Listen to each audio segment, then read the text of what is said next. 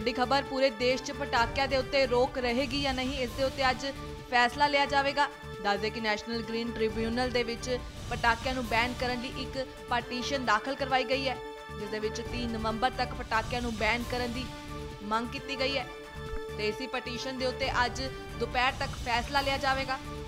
ਪੂਰੇ ਦੇਸ਼ ਵਿੱਚ ਪਟਾਕਿਆਂ ਨੂੰ ਬੈਨ ਕੀਤਾ ਜਾਵੇਗਾ ਜਾਂ ਨਹੀਂ। ਦੱਸਦੇ ਕਿ ਕਰੋਨਾ ਦੇ ਵੱਧਦੇ ਮਾਮਲੇ ਅਤੇ ਤਿਉਹਾਰਾਂ ਦੇ ਸੀਜ਼ਨ ਦੇ ਚਲਦਿਆਂ ਦਿੱਲੀ ਤੇ ਚੰਡੀਗੜ੍ਹ 'ਚ ਪਹਿਲਾਂ ਹੀ ਪਟਾਕਿਆਂ ਨੂੰ ਬੈਨ ਕਰ ਦਿੱਤਾ ਗਿਆ ਸੀ ਤੇ ਉਧਰ ਦੂਜੇ ਪਾਸੇ ਪੰਜਾਬ ਸਰਕਾਰ ਨੇ ਪਟਾਕਿਆਂ ਦੇ ਉੱਤੇ ਪਾਬੰਦੀ ਤੇ ਫਿਲਹਾਲ ਰੋਕ ਲਗਾਈ ਹੋਈ ਹੈ।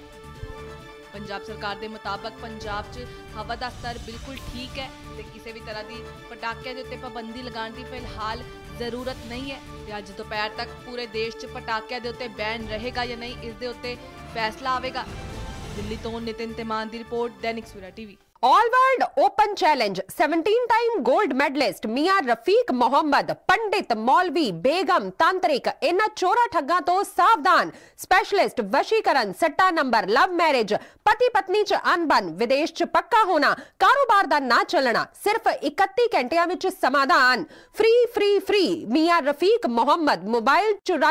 चौहत्तर चौरानवे ਸਮਾਧਾਨ सौ संताली चौरासी तीन सौ चौहत्तर चौरानवे 8434494647 सौ अड़ताली